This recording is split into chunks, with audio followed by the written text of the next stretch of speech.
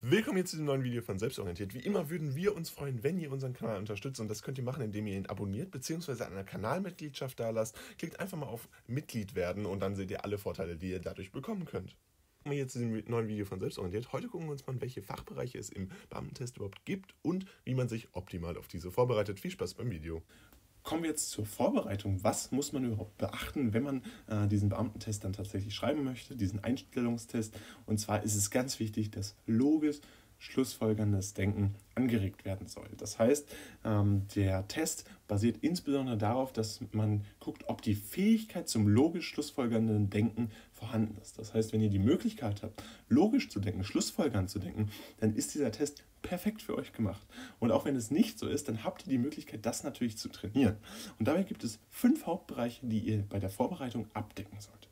Und zwar zuerst die deutsche Sprache bzw. Deutsch als allgemeines, dann Mathematik, Logik, Allgemeinbildung und die Konzentration. Was verbirgt sich jetzt hinter den einzelnen Bereichen? Grundsätzlich ist es so, dass es natürlich große Überbereiche sind, die dann aber ganz konkret nochmal runtergebrochen werden. In Deutsch ist es beispielsweise so, dass viele Grammatikfragen drankommen, Grammatikaufgaben, Textverständnisaufgaben. In der Mathematik ist es so, dass Basiswissen abgefragt.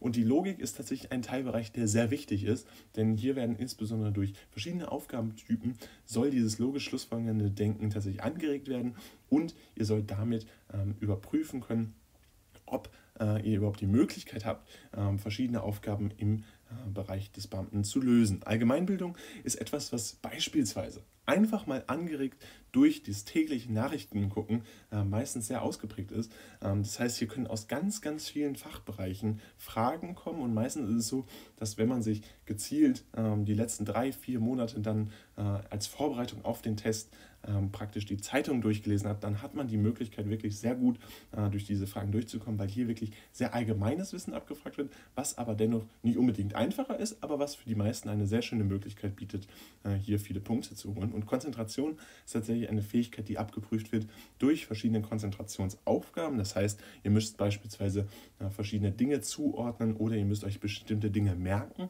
All das sind Aufgabentypen, die immer wieder gleich sind und dementsprechend auch immer wieder äh, abgeprüft werden und von euch auch bestmöglich vorbereitet werden können. Außerdem, ganz wichtig, Vorbereitung ist zwar schwierig und äh, das sind große Themenbereiche, die ich jetzt gerade genannt habe, aber dennoch ist sie keinesfalls unmöglich. Sie ist definitiv möglich und es kann sogar richtig Spaß machen, wenn man sich mit diesen einzelnen Fachbereichen oder Hauptbereichen auseinandersetzt und sich ganz gezielt auf das Studium vorbereitet bzw. auf die Ausbildung vorbereitet und damit natürlich auch schon mal ein bisschen ähm, in diesen Lernflow kommt, den man später eh haben wird. Und damit möchten wir uns ganz herzlich bedanken für eure Aufmerksamkeit, die ihr diesem Video gewidmet habt. Wir hoffen, wir konnten euch optimal für den Beamtentest vorbereiten, beziehungsweise euch eine kleine Hilfestellung geben, was man denn überhaupt machen kann zur Vorbereitung. Natürlich möchten wir noch ganz viele weitere Videos zum Beamtentest machen. Falls da Interesse besteht, schreibt einfach mal in die Kommentare, welche Themenvorschläge ihr denn so habt. Und ansonsten soll es es gewesen sein. Wir hoffen, wir sehen uns bald wieder. Abonniert dazu gerne den Kanal. Lasst gerne eine Kanalmitgliedschaft da. Und ansonsten Haut rein, lasst ein Like da und ciao. Und wir starten auch direkt mit dem Grundsätzlichen. Was ist denn dieser Beamtentest? Äh, erstmal kann man grundsätzlich sagen, es ist eine Auswahlprüfung für das Studium bzw. die Ausbildungsplätze, die der Staat vergibt. Es ist ja ein äh, staatlicher Studiengang, der äh, einen befähigen soll, äh, praktisch verschiedene äh, Möglichkeiten, äh, verschiedene Beamtenlaufbahnen einzuschlagen.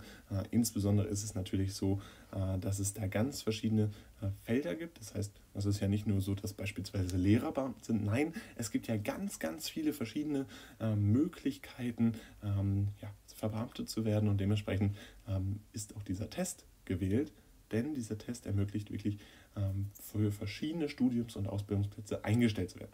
Dementsprechend lässt sich das Ganze auch ähm, tatsächlich so benennen, wie wir das einmal da zitiert haben, nämlich den Einstellungstest für den öffentlichen Dienst. Und das ist letztendlich nichts anderes als dieses Kurzwort des Beamtentests. Tatsächlich heißt der offiziell Einstellungstest für den öffentlichen Dienst und dementsprechend seht ihr auch, wofür er gemacht ist. Er ist letztendlich für die Einstellung für Beamten gemacht äh, und ermöglicht dementsprechend auch die Einstellung. Ähm, dieser Test muss von jedem bestanden werden, der ähm, letztendlich beamtet, verbeamtet werden möchte oder eine Beamtenlaufbahn einschlagen möchte. Dabei werden Grammatik, Textverständnis sowie die Textgestaltung sehr hoch bewertet. Das heißt, das ist sehr wichtig für diesen Test. Wir werden das natürlich gleich nochmal dezidiert auffassen. Ähm, Grammatik ähm, immer eine sehr wichtige Sache. Das bezieht sich natürlich alles auf die deutsche Sprache. Tatsächlich ist beispielsweise Englisch noch kein Teil des Beamtentests. Textverständnis sowie Textgestaltung, ähm, das ist letztendlich auf dem Niveau, wie es auch an einem Gymnasium bzw. einer Realschule gelehrt wird. Ähm, Textgestaltung meint dabei insbesondere, dass man äh, verschiedene Textformate wie beispielsweise Reden, Darstellungsschreibung, ähm, deskriptives Schreiben beherrscht und dass man dies auch umsetzen kann. Und dabei geht es dann darum, dass alles, was ihr da vorfindet, ein Großteil der Fragen immer wieder repetitiv ähnlich sind. Das heißt, ihr könnt euch da wirklich sehr gut darauf vorbereiten, denn eine gezielte Vorbereitung ist ermöglicht ein sicheres und bestmögliches Ergebnis. Und diese gezielte Vorbereitung ist überhaupt möglich, weil ja ein Aufbau und der Großteil der Fragen immer wieder wiederkehrend sind. Das heißt, sie sind sehr ähnlich und wenn man sich die Vorjahrestests anguckt und sich darauf sehr genau vorbereitet, dann hat man tatsächlich auch die Möglichkeit, ein bestmögliches Ergebnis zu erzielen und dementsprechend natürlich auch für sein Studium oder seine Ausbildung ausgewählt zu werden. Und dementsprechend habt ihr mit dem Beamtentest ähm, zwar einen Test, der sehr breit ist und sehr groß ist, allerdings auch ähm, die Möglichkeit, ähm, euch sehr gut gezielt darauf vorzubereiten und dementsprechend sicher eingestellt zu werden. Und damit kommen wir dann auch zu den letzten, was natürlich auch nochmal wichtig ist. Welche Fragen können denn überhaupt drankommen? Welche Fragen könnten relevant sein? Und ähm, da habe ich jetzt einfach mal drei Beispiel, ähm, ja, Fachbereiche rausgenommen. Erstmal Allgemeinbildung. Das hatte ich gerade schon mal gesagt. Es kann durch das Konsumieren der Nachrichten stark verbessert werden. Allgemeinbildung ist immer ein Fachbereich, auf den man sich nicht so gut vorbereiten kann, denn letztendlich können jede Frage rankommen. Es kann die Frage sein, wie viele Bundesländer hat Deutschland? Oder es kann natürlich auch die Frage sein, wie heißt denn überhaupt unser Bundeskanzler oder unsere Bundeskanzlerin? Ähm, aber es kann genauso gut die Frage sein, wo liegen denn überhaupt die USA? Wie viele Staaten haben denn die USA? Ähm, und letztendlich kann es auch eine Frage sein, wer hat denn überhaupt Faust geschrieben? Und all das, ihr seht schon, sind sehr große Themenbereiche und man kann sich gar nicht gezielt auf dieses ähm, sehr breite Feld abdecken. Aber ihr habt die Möglichkeit, durch ständiges Konsumieren von Nachrichten das schon mal stark zu verbessern. Insbesondere auch Zeitungen. Wenn man aktiv etwas liest, dann hat man wirklich die optimale Möglichkeit, sich darauf gut vorzubereiten. Mathematik ist tatsächlich etwas, was überwiegend die Logik abprüft und Verständnisfragen. Das heißt, hier wird nicht komplizierte Oberstufenmathematik abgeprüft, sondern hier werden Logik- und Verständnisfragen abgeprüft. Und diese sind meistens bestehend aus Altklausuren. Das heißt, ähm, die verschiedenen Fragen, die schon mal in Beamtentests drankamen, sind zugänglich, sie sind äh, verfügbar und deswegen solltet ihr damit unbedingt lernen. Altklausuren sind nicht nur in der Uni eine super Möglichkeit, zu, sich vorzubereiten, nein, auch in der Vorbereitung auf diesen Beamtentest bieten sie eine ideale Möglichkeit, sich ähm, auf diese äh, verschiedenen Fragen vorzubereiten und können tatsächlich sehr genau erprüft werden. Und dementsprechend habt ihr hier die Möglichkeit, das äh, sehr gut nachzuvollziehen. Deutsch ist tatsächlich ganz einfach zusammengefasst, lesen hilft. Je mehr man liest, desto mehr hat man auch ein Textverständnis.